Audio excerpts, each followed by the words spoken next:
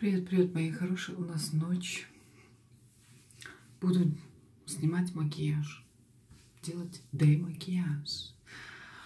На мне сегодня были нанесены мои розовые тени с Алиэкспресс. Я их показывала сотни раз. Моя тоналка орифлеймовская была. И сегодня наносила помаду от Farmasi. Кстати, помада мне очень-очень понравилась. А, снимаю макияж вот этим гарниром. Не изменяю. Никогда не изменяю.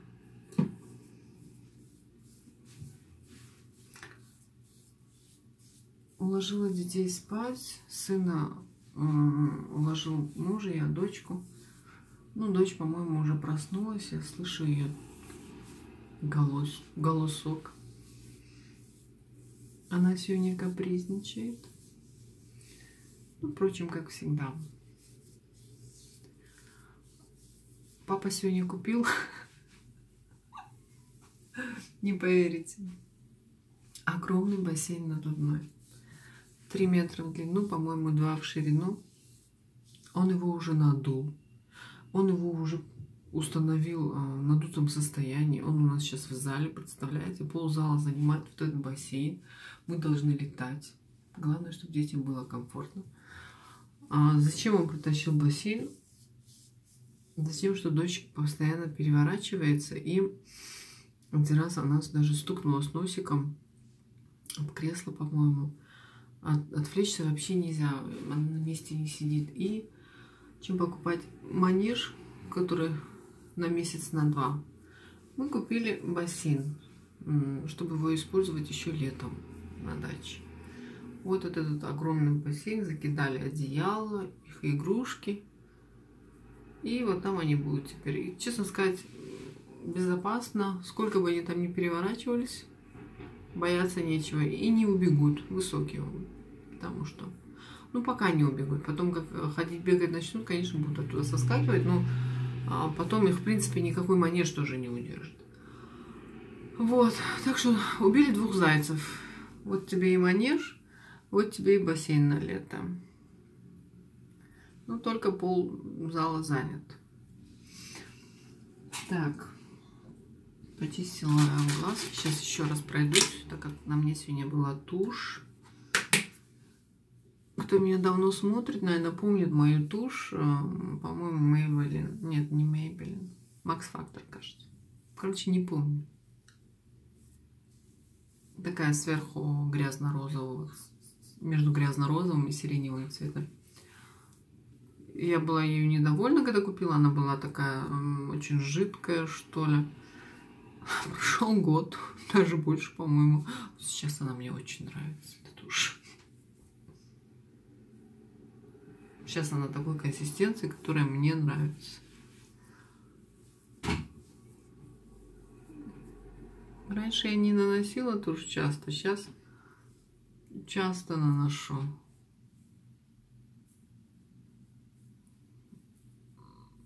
С тушью, конечно же, глаза более выразительные. Так. Такой же тоник. Турции этих средств нет. Есть любая другая серия гарнир, но именно этой серии нет. Кстати, в Дагестане нашла вот эту серию с трудом последний раз. Только в пару магазинах она была, и то вот остатки такие, знаете, случайно, на которые я попала. Вот. Не знаю, что буду делать дальше. Я очень люблю эти средства привыкла уже к ним, наверное, уже год лет 12 ими пользуюсь. Даже, может, и больше. Ну, сколько я себя помню, столько я ими пользуюсь. Так.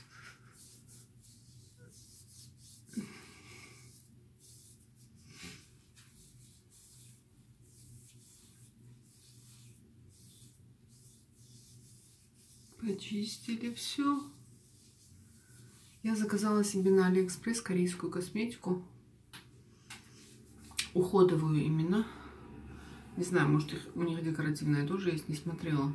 Именно корейскую, не китайскую. А, то, что вот продают девочки, а, там то же самое, такой же перекупщик или перекупщица а, продают на этом сайте. И я вот там заказала, не помню, по-моему, крем я заказала, патчи, маску для лица. Скоро должно прийти. Надеюсь, мне понравится, потому что у меня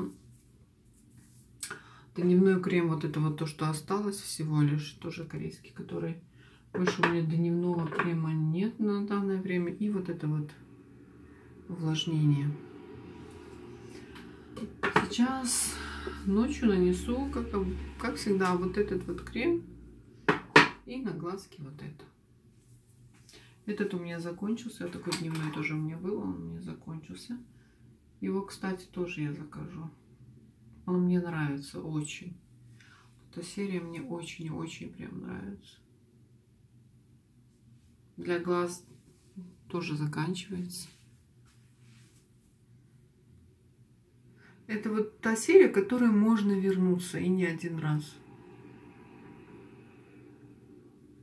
Но сразу говорю, аллергии у меня ни на какие кремы не бывает, поэтому кто склонен к аллергии, наверное, тем страшно брать непонятные кремы с непонятным составом.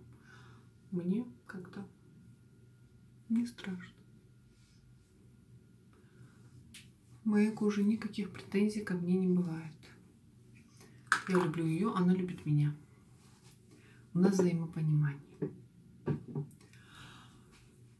Крем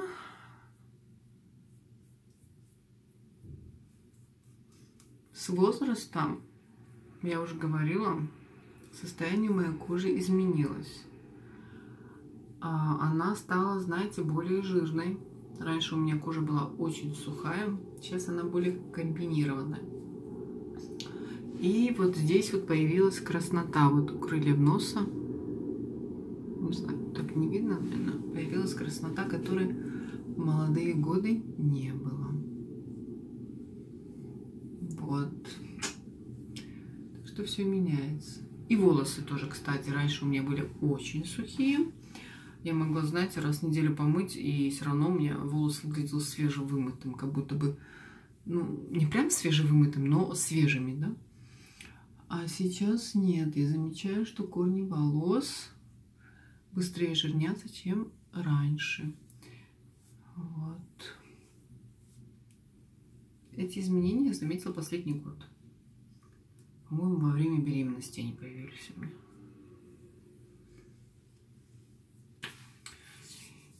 Гигиеничка здесь у меня только вот эта вот Сайхер, которая одна из них. Намазим ее. Кто-то мне советовал а, мазать на а, губы крем для глаз, что Прям очень-очень прекрасно. Но не знаю, то ли у меня не такой крем для глаз, то ли что. Мне не подошел. Ну, как не подошел? Что шло, что ехало. Что крем мажу, что гигиеничку мажу. Поэтому, в принципе, какая мне разница? Мажу вот гигиеничку продолжаю. Закрываемся. Нужно мне снять лак с ногтей. Он у меня уже облез. И, конечно же, моя любимая щеточка. Расчесываем брови. Моя визитная карточка. Хорошо, что сейчас мои густые брови. Густые натуральные брови, которых, точнее, обладательниц которых очень мало. Густых и натуральных. Мне повезло. Хотя бы в чем-то. Вот, все. Ночной мой уход Сейчас помажу крем на ручки. Крем, крем помажем мы вот этот. Зулечка купила вот такой крем. Мне, кстати, очень нравится. Вот именно его запах нравится. Я точно себе тоже такие куплю. Очень понравился. Здесь запах инжира и грейпфрута. Я вообще сам по себе инжир не люблю, но вот в креме запах именно сочетание понравилось. Класс. Почему-то мне а, сразу сразу остаться и с летом. Не знаю. Так, все, сейчас пойду я попью чай сегодня. По-моему, дочь плачет. Вряд ли у меня получится попить чай. Скорее всего, не попью я чай. Ну, что поделать. По поводу подгузников. Заказала я фиговую тучу, кучу подгузников по прекрасным отзывам э, в Фейсбуке, в наших э, русскоговорящих группах. Там все девочки прям хвалили, расхваливали местные подгузники Слиппи. Я, конечно, фиговую кучу заказала и для дочери, и для сына, и подгузники, и трусики, и на вырост, и так далее. Думаю, ну раз они такие прекрасные, прям все были восторжены, в восторге от них заказала. У меня теперь их куча-кучева. Не знаю, как сейчас сказать. Подгузники хуже, чем памперсы. Я не знаю, что о них сказать, честно. Или я... Не подгузники, трусики.